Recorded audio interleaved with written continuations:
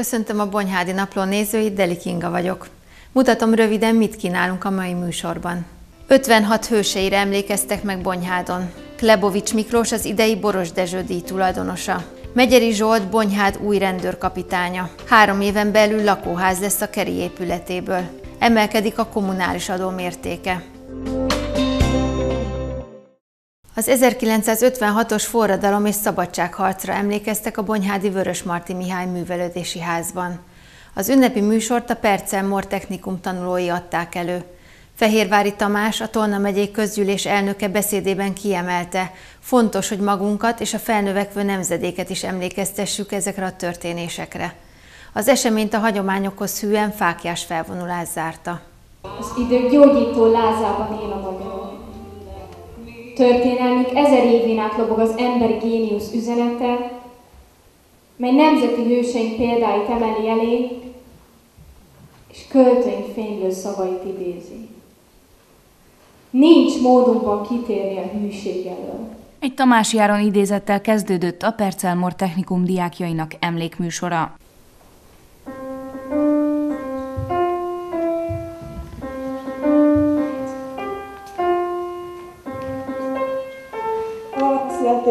Születésnaposunk. Egy csodálatos napra ébredtünk, anya, hiszen lányom egy évvel idősebb lettél majd. Egy családi ünnepből csöppenünk az 56-os forradalom és szabadságharc kellős közepébe.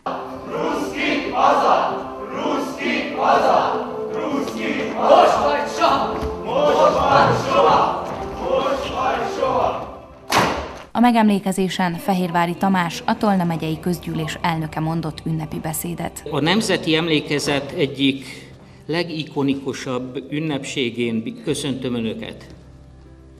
A legikonikusabb, a legszomorúbb és történelmi síkon a legközelebbi esemény emlékezetén. 1956 őszének gyászos és dicsőséges személy, ö, esemény sorozatáról van szó, melyre itt, Tolna megye szívében emlékezünk, itt, Bonyhádon. Egy olyan városba kaptam meghívást, ahol mindig is adtak a nemzeti emlékezet fontosságára. Olyan helyez, ahol emlékek hirdetik az ősök példás tetteit. Bonyhád mindig előjárt a közös ügyek és a hazaszeretet ösvényén. Emlékszem négy évvel ezelőtt, ha nem is ugyanitt, de Bonyhádon mondtam el az 56-os hősöket méltató beszédemet. Aztán fákját fogtunk, és csendes menetben haladtunk, és vittük a fényt a városban. Fényvívőkké lettünk az éjszakában. Szimbolikusan ugyanezt próbáltuk tenni, amit 66 évvel ezelőtt tettek a fővárosban, fényt akartak vinni a sötétségbe, a szabadság fényét egy borús, elnyomó rendszerbe. Tudjuk jól, hogy a fényüket kioltották. A fákjákat valami egészen szörnyű vihar fogta el és fújta el, amely, amelynek felhői még évtizedeken ezután is fölöttünk maradtak. A felnövekvő generációk már 56 traumáját kapták útravalóul az élethez. Ezzel a batyúval indultak a jövő felé, tudván, hogy mi jár a szabadság harcosainak. De aki egy kicsit is ismeri a magyar virtust, az tudja, hogy ez a nép nem adja fel, tette hozzá a közgyűlés elnöke. Magyarország és a magyarok sosem felejtenek. Nem felejtünk a múlt tévútjairól, és nem feledkezünk el a múlt eseményeiről sem. Sok-sok áldozat kísért ennek az időszaknak az útját.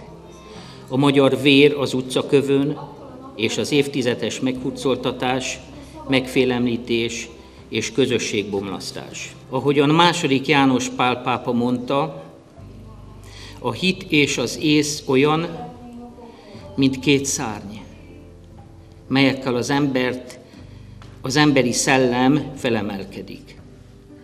Én biztos vagyok benne, kedves hölgyeim és uraim, hogy a magyar nemzetnek ez adatott meg, a józanész, melyel képesek vagyunk megtalálni a helyünket a világban, és a jövőt megalapozó döntéseket hozni.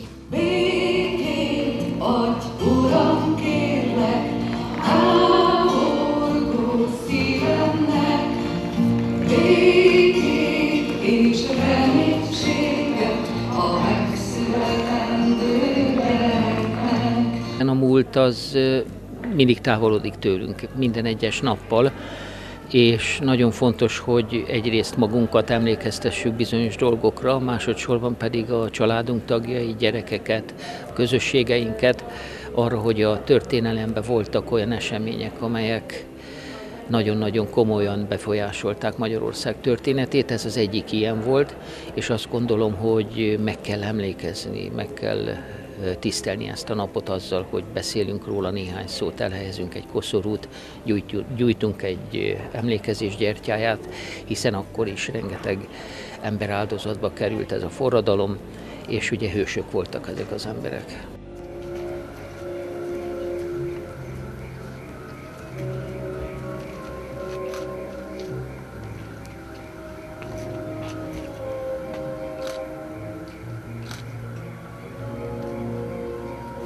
A hagyományokhoz hűen idén is fákjás felvonulással zárták a megemlékezést, gyertyát gyújtottak és megkoszorúzták a városban elhelyezett 56-os emléktáblákat.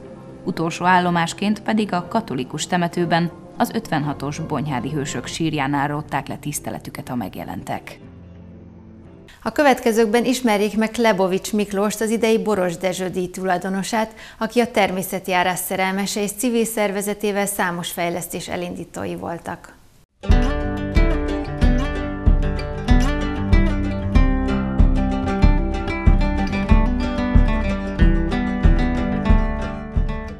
Egy őszinte vallomással tartozom. Középiskolás koromban nem rajongtam a túrázásért, mert kötelező volt, ahogy a kötelező olvasmány sem, de hát egy kamaszoknál előfordul. Viszont mikor elkezdtem a páromnak udvarolni Pécsre, akkor ő szerettette meg velem a túrázást, először csak lakcipősen a tetjére, aztán későbbiekben eh, a túracipőt is fölváltottam, és amikor elkezdtem itt a Zománzjárba dolgozni, kialakult egy olyan kollégai baráti kör, akivel rendszeresen túráztunk. Az Egyesületnek a, a természetjárásért, túrázásért, környezetvédelemért eh, való tevékenysége volt, a természet megszerettetése, és természetbarátoknak is hívjuk egymást, tehát nem csak egymásnak barátai, hanem a természetnek is szüksége van barátokra. Amikor elkezdtünk túrázni, és a 70-es évek végén, 1980-ban már mint sportegyesület, Bonyhád ról hiányoztak a kivezető turista utak és a Szexárdi domság, Mórágygeresdi domság, valamint Mecsek környékbeli szép hegyeket közvetlenül nem tudtuk turista úton elérni, és az Egyesületünk ezeket a jelzéseket megtervezte, jóvá hagyatta, és most már 80-as évek óta a turista térképen rajta vannak, és a város is körüljárható, mind a Sötétvölgy, mind a Mórágygeresdi domság, és a mecsek különböző útvonalai Bonyhádól indulva is elérhetők. 2000-ben megjelent egy Bonyhád és környéke úti kalauz, amiben az Egyesület tagjai és a, a megye neves szakemberei vettek részt. Akkor ezen kívül viszont a legutolsó, ami akciónk volt, hogy 2019-ben, illetve 2022-ben ugyancsak egyesületi tagok kezdeményezésére két arborétum is kialakításra került, és Konyhád városa most már két arborétummal büszkélkedhet. A díj az a személyemnek szól, és mindenképpen hálás vagyok, hogy a testület méltónak tartott erre a díjra. A véleményem viszont az, hogy ez nem egyéni tevékenység, hanem egy csapatmunka, a színpad is kevés lenne ahhoz, hogy mindenki itt álljon, akik az elmúlt közel 50 évben a természetjárás megszerettetésért, meg kedveltetésért és ezek tevékenységében részt vettek.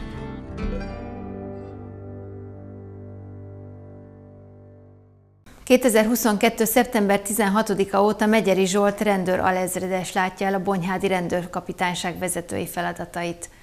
A kinevezést megtiszteltetésnek veszi, és mint mondta, fő céljának tekinti a város közbiztonságának megtartását.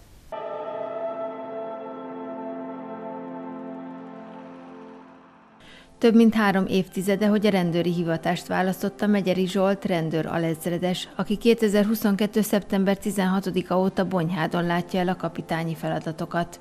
A Tolna megyei rendőrfőkapitányság közlekedésrendészeti osztályának korábbi vezetője ez idő alatt gyakorlatilag az összes beosztást betöltötte, ami a járőrtől a kapitányság vezetői tisztségig előfordulhat. Járőrként kezdtem, járőrvezető voltam, motoros járőrvezető, aztán megbízott talosztályvezető, kiemelt feladó, aztán utána kinevezett talosztályvezető voltam, majd 2013-ban a közlekedésrendészeti osztály vezetője lettem a Tolnamjai rendőrfőkapitányságon, és ugye akkor az idén 2022. szeptember 16-án megbízott rendőrfőkapitánynak kért fel főkapitány úr, amit ugye elfogadtam, és akkor ezt a szolgálati beosztást teljesítem azóta. Mi a járőrtől a kapitányság vezetői tisztségig előfordulhat.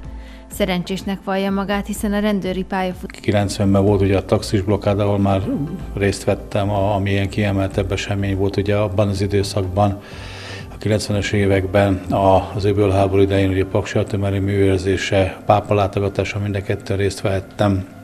Budapesten is, illetve Pécs mellett a Pogányi repülőtéren, a Tisztáját, viszont nagyon sok olyan tapasztalatot is gyűjthettem, amit hasznosíthattam a, a beosztásaimban, illetve az utolsó nagy kihívás az Torna megye életében is egy jelentős volt a Visegrádi négyek találkozója, ahol gyakorlatilag a, a szervezéssel, illetve ennek a rendezvénynek a, a parancsnokának jelöltek ki annak idején, és az a rendezvény is például olyan jól sikerült, hogy mind az állampolgárok részéről, mind az önkormányzatok részéről, mind a rendőri vezetők részéről csak pozitív visszajelzést kaptunk, és gyakorlatilag ezt azért emeltem ki, mert hogyha minden város életében, illetve minden járás életében vannak nagyobb rendezvények, és úgy gondolom, hogy ez mind-mind előnyére válhat számomra, hogyha ha ilyen események lesznek itt a Bonyhádi járás tekintetében, vagy Bonyhádon.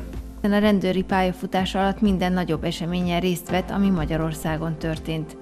Annak idején, amikor a rendőri hivatás... Én egy tartékos tisztiskolába jártam, ugye az is már az érettség után kvázi egy rendőrképzőnek számított, de ugye ez megszűnt 90-ben, és gyakorlatilag 15 napon volt eldönteni azt, hogy, hogy hova szeretnénk menni dolgozni a katonosság után. És ugye nekem nagyon tetszettek korábban is az én gyermekkoromban ezek Derek filmek, hogy nyomozó szerettem volna lenni. Úgyis mentem én a szexuális rendőrkapitányságra, ugye ott kezdtem a, pályafutásomat, aztán nem úgy alakult a dolog, mert végül is mondták, hogy menjek fel a második emeletre a közlekedési oszt, akkor úgy a közlekedési alosztályra, és akkor gyakorlatilag így a rendészeti vonalon volt az egész pályafutásom, tehát az elmúlt 32 évben, és ugye a bűnügyi része a tekintetben maradt ki, hogy a konkrét bűncselekmények ugye azok azért nagyjából kimaradtak az életemből, a közlekedés rendészetén nyilván voltak olyan nagyobb hordaér bűncselekmények, mondhatom ezt így, ami a közlekedés rendészet szempontjából kiemelkedő, amikor például a 2013-ban hat halálos eredménnyel végződő balesetben csöppentem mindjárt bele egyébként a kezdőosztályvezetőként, úgyhogy ott is találkoztam nyilván a bűnügyjel, de azért az mégis egy, egy kicsit más szegmens a rendőrség életében. Amikor a rendőri hivatás mellett tette le a voksát, még egészen más irányba képzelt el a szakmai pályafutását.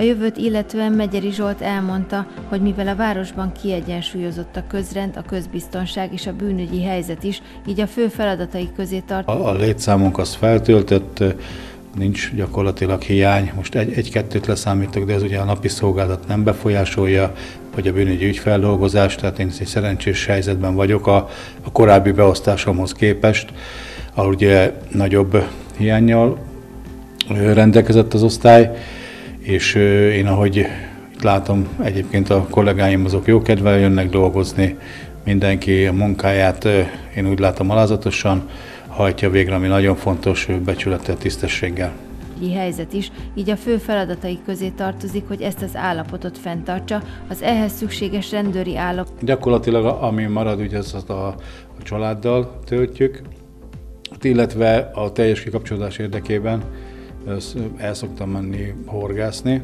ugye a gyermekemmel, illetve most már csatlakozott a feleségem is, feleségem is, mert rájött arra, hogy egy csönd, nyugalom, béke van, és ez is úgy megtetszett neki.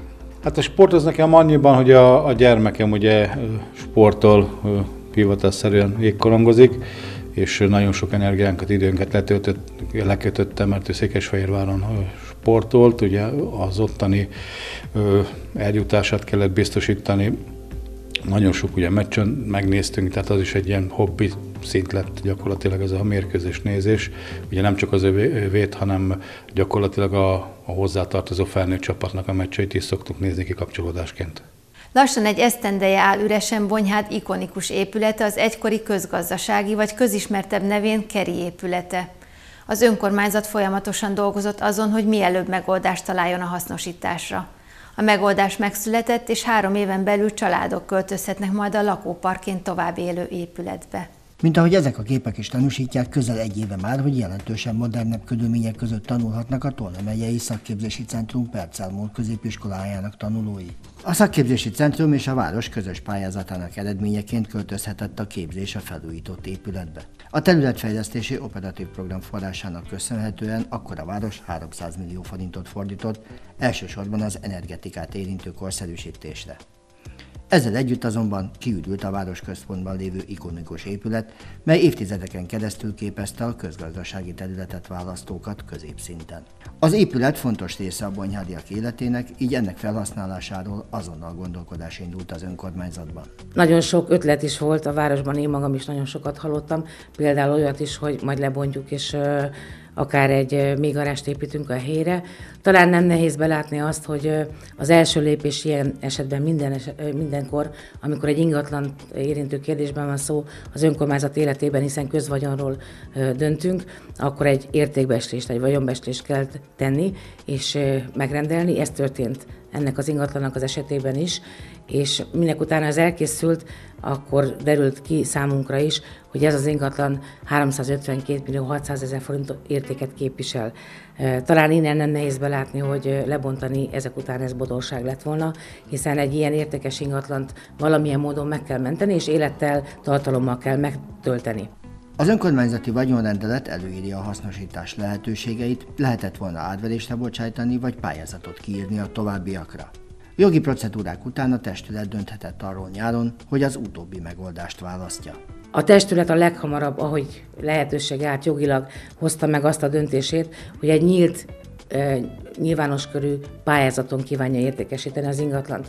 Azért is döntöttünk többek között emellett a pályázati forma mellett, mert ilyenkor egy csomó feltételt is tud szabni a kiíró önkormányzat. Így tettük ebben az esetben is, hiszen pontosan meg tudtuk határozni azt a célt, hogy a jövőben mit szeretnénk, bárki, aki ezt a, a ezen a pályázaton részt vesz, és gondolkodik komolyan azon, hogy hogyan kívánja hasznosítani az ingatlant, akkor ez találkozik azzal a elvárással, ami a jelenlegi tulajdonos önkormányzatnak az elképzelése. Már a városfejlesztési stratégiában megfogalmaztuk azt, hogy szeretnénk, hogyha új lakások épülnének a városban, hiszen ha visszagondolunk, több mint két évtizede már nem épültek nagy számban egyszerre lakások a városban, ismerjük a jelenlegi lakáspiacot a, a városunkban, és azt látjuk, hogy a, akár az albiletek tekintetében is nagyon magas béreti díj mellett nagyon nagy a kereslet, és egyre szűkebb a kínálat, igen magas havidíjakon. Ezen is talán segíteni lehet azzal, hogy a piacra új lakásépítések kerülnek. Nagyon sok érdeklődő volt, telefonon is, személyesen is a, a nyári időszak az gyakorlatilag a pályázati felhívás ideje alatt sok ilyen tárgyalást, illetve érdeklődést tárgyaltam végig, de konkrétan érvényes és eredményes pályázat egy érkezett, akivel már megszülettek a szükséges szerződések is. A 352 millió 600 fontos vételárat, amely a vagyonértékesben szerepelt, a pályázó vállalta, hogy megfizeti, ezek után nem volt okunk arra, hogy ezt az adásvételi szerződést az önkormányzat részéről a testület felhatalmazás alapján ne írjam alá. Ez megtörtént az elmúlt ö, időszakban, október 14-én, de mint minden egyes önkormányzati ingatlannál az államnak elővásárlási joga van, ez törvény szabályozza így, ezért van egy 35 napos moratórium, ami alatt választ kapunk a magyar államtól, hogy ő kíván-e élni ezzel az elővásárlási jogával, és amennyiben nem, bízunk benne, hogy így lesz, akkor november 18-án a vételár megfizetésére sem lesz már semmi akadálya. A pályázatban foglaltak alapján az építetőnek három éve van arra, hogy befejezze a beruházást és lakóparki épületet hozzon létre Bonyhád belvárosában. Bonyhád város képviselőtestülete továbbra sem kívánja bevezetni a városba az ingatlan adott szemben más településekkel. A saját forrásokra azonban szüksége van, így arra az elhatározásra jutottak, hogy hosszú idő után megemelik a kommunális adó. Az emelés havi 450 forint többletkiadást jelent a családoknak. 2011-ben alakította ki Bonyhádváros önkormányzata azt az adórendeletet, mely magába foglalta a magánszemélyek kommunális adójának tételét, mely ma is érvényben van, és amihez azóta semmilyen módon nem nyúlt a testület. Az adórendelet létrehozásakor a képviselők úgy döntöttek, nem vezetik be a városba az ingatlan adót. Filoni Ferenci a polgármester a testület legutóbbi ülésén is arról beszélt, szemben több hasonló méretű várossal, Bonyhádon továbbra sincs tervben ennek az adónemnek a bevezetése. Hadd mondjak én egy-két konkrét példát. Van olyan település, ahol már 2015 óta, tehát az elmúlt 7 évben is 16 ezer forint volt ennek az adónak a mértéke. Mi most kívánjuk csak 15 ezer forintra emelni. Vagy mondhatnék egy másik példát, ahol 13 ezer már 8 év óta 17 ezer több településen szintén 8-10 éve bevezetett mértékként. Egy ilyen döntés természetesen sosem hoz meg jókedvében a, a képviselőtestület, és a polgármester sem javasol ilyet, hanem muszáj. Ezért az elmúlt 11 évben nem is került erre sor. Ma az a helyzet van, amikor muszáj ebben is döntenünk, hiszen nem csak úgy tudunk költségeket csökkenteni, takarékoskodni, az energiahatékonyságot növelni, hogy kevesebb áramot, kevesebb gázt fogyasztunk, hanem azt is meg kellett vizsgálnunk, hogy hogyan tudunk bevétel növekményt elérni. Ez az egyik módja ennek, amire az elmúlt 11 évben nem került sor, és bízom benne, hogy még sokáig a jövőben sem fog. A kommunális adók tekintetében azonban szükség volt az emelésre. A lakás céljára szolgáló helységek kommunális adótétele 10 ezer forintról 15 ezer forintra változik, míg a nem lakás céljára szolgáló épületek, gazdasági épület, telek tekintetében a 8 ezer forintos adótétel 12 ezer forintra változik. A számításaink szerint ez havi 417 forintot jelent családok számára. Úgy ítéljük meg, hogy ez az összeg még nem elviselhetetlen mind a mellett, hogy a legrászorultabb réteg részére továbbra is élnek a lehetőségek, a mentesítési lehetőségek, sőt, a rendelet tervezetben annak bővítésével is számoltunk, és olyan előterjesztést készítettünk. Úgy gondolom, hogy az önkormányzatok számára mindig fontos a saját bevételek áttekintése, talán a jelenlegi időben különösen, hiszen az önkormányzati saját bevételek a költségvetésnek jelentős részét képezik, és gyakorlatilag szabad felhasználásúak, és a jövőbeni folyamatok ismeretében erre úgy gondoljuk feltétlen szükség van. Mindenki tudja, hogy ez, ez fontos, ugyanakkor szükséges annak érdekében, hogy a városban bevételek folyamatosan emelkedjenek. A kommunális adóból a városnak évi megközelítően 57 millió forint bevétele képződik, amit szabadon használhat fel például járdaépítésre, temetőkarbantartásra vagy pályázati önerőképzésre. A felhasználásról a képviselőtestület a jövő évi költségvetés tárgyalásakor dönt. A kommunális adót minden évben két részletben kell megfizetni, az első részletet 2023 márciusában, a másodikat szeptemberben. Köszönöm a figyelmüket, viszontlátásra!